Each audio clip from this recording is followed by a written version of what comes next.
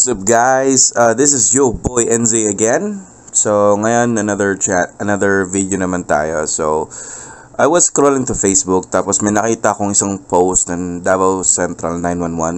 uh, Davao City Central 911. So tapos while scrolling through the posts, nakita ko nga isang opportunity na parang pwede natin kunin kasi nga I'm jobless at the moment. So So malay natin. So this video today is actually my experience to you know how to get the application done. So as you can see here, makikita nyo na kailangan nila yung application letter, birth certificate ko at 2x2. Hindi ko na mag hindi na magbibigay ng ibang credentials kasi nga hindi sila available kasi if available lang naka- nakalagay. So ngayon, um, this is the hard part naman kasi of applying for a job, especially ngayon dito sa Davao. Especially from where I'm located here in Catalunya Grande, used to be growing up, madaming internet cafes. Like, if you want something printed, resume, um, application letter, anything of that sort, madali lang siya. Kasi nga, madaming availability. Pero uh, during the pandemic, I've seen these computer shops that I used to go to, you know, as younger, na dahan-dahan sila nag-close down. So I have no choice but go to Turil and you know, have have it printed there. So sad part nga lang. Basta, pakita ko na lang sa inyo ano nangyari.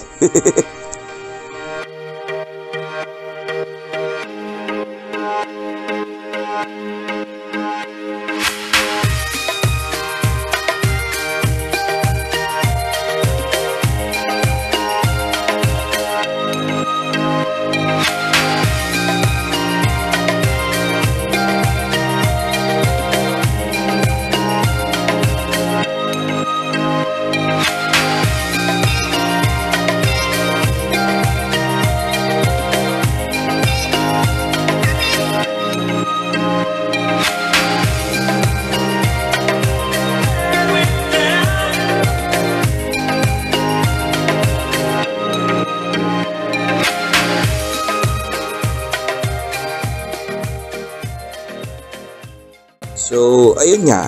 Um, after going through around Turil, uh, kasi yung first option ko talaga when it, when it comes to printing stuff is uh, Net Central. As nakita nyo. So, ang problema nga lang, kahit sa Net Central, is occupied siya. So, basically, mangyayari, uh, I have to look somewhere else. So, yun nga nangyari. I went around Turil just to look for an internet cafe na open.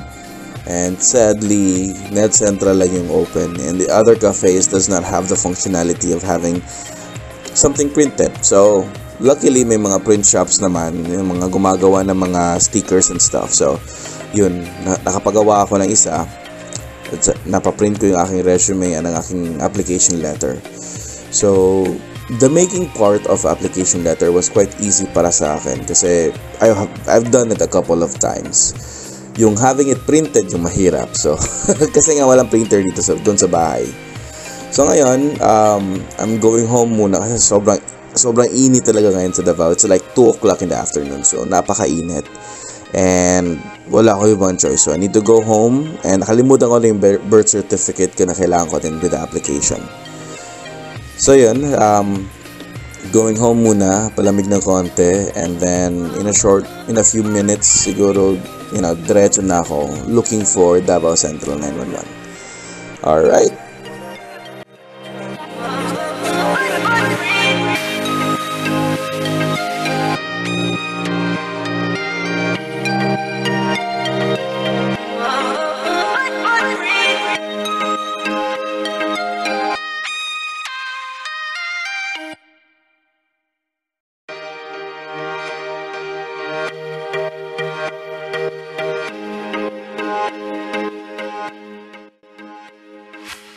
So, ayan, nakapag-rest na tayo, nakapagpahinga na. Nanga, now, ang kailangan nilang gawin is pumunta ng Davao Central 911.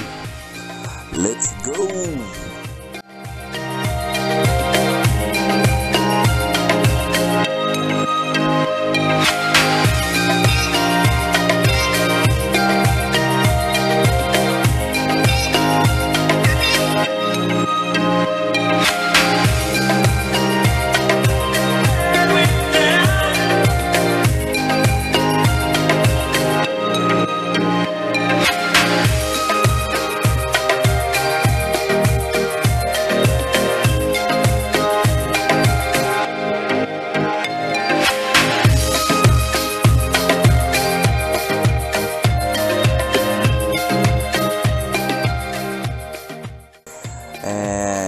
Amazingly, yes, makikita nyo, I'm not gonna videotape everything because I am not sure if I'm allowed to do so. So, hindi ko siya parang, well, parang tapyas-tapyas lang. Makikita natin in some parts. At least malalaman natin kung saan banda yung location ng Davao Central 911. I've been here a couple of times. Um, not really staying in the place, pero pag dumadaan, going through shortcuts, pag traffic and everything. Kasi shortcut to. And it's accessible to almost anywhere in Davao City, which is pretty cool, I have to say.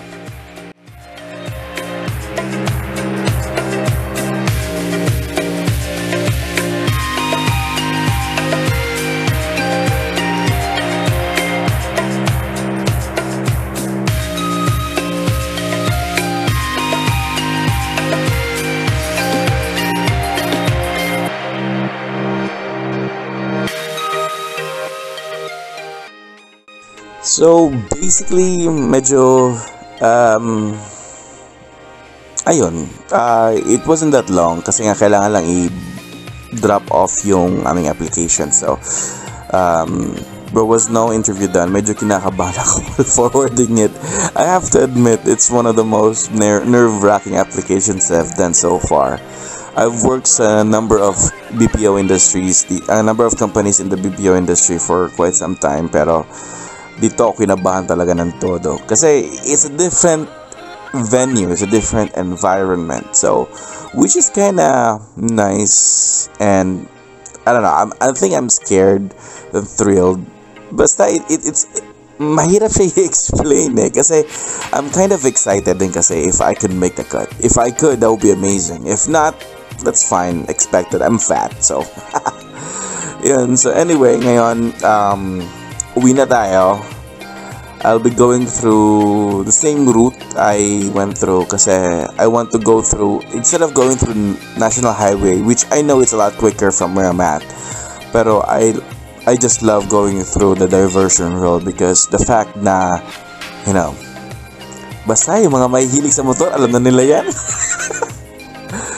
So anyway, um, yun lang yung video natin for today. So if you do have any other uh, if you have any comments or things you want to see from Davao City, um, let me know. I'm gonna try to see if I can have them videotaped. Just comment them below, or you can DM me or this page. That'll be fine. Uh, I'll gladly do it. Actually, at least may gagawin ako. So anyway, uh, this has been your boy NZ. Uh, peace.